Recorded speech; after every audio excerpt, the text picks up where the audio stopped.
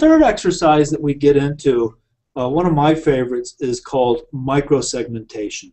Now, microsegmentation doesn't replace traditional marketing segmentation. You still want to do that type of work. But with microsegmentation, often takes the form of, of brainstorming.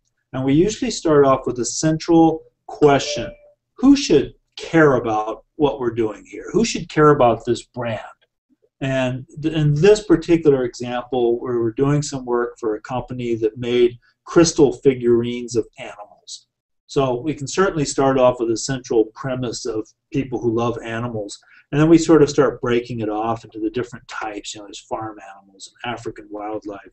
You know, it's funny in the whole world of African wildlife, there's people who are fanatics for giraffes and elephants, uh, domestic animals, which of course there's fish, birds, cats, and dogs. And the dogs, there's obedience and rescue and working and breeds, the particular breeds and then all the different types of groups. And then we get down to terriers, and there's Airedales, people who love Airedales. And in fact, when we look at people who love Airedales, you can start to find little small groups of people like the Airedale Terrier Club of Illinois. We did this exercise for the Grammy Cares uh, Foundation, and you know one of the things we got into was you know people who teach music and when we got down to the level of the Berklee School of Music, we found that there was a group of people there who loved world music.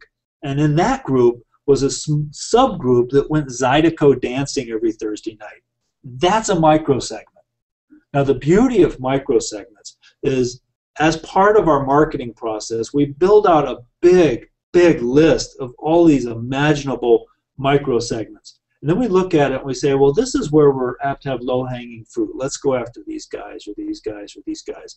Um, and then iterate through these microsegments and go out and do the, the research around where they are in communities so that we can engage with them on behalf of the brand.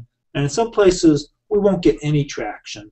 And in another place, we'll get a lot of traction. And so we may put more emphasis there. But this microsegmentation document ends up becoming a very core element of our work because it, it guides us where we can go and become involved with communities.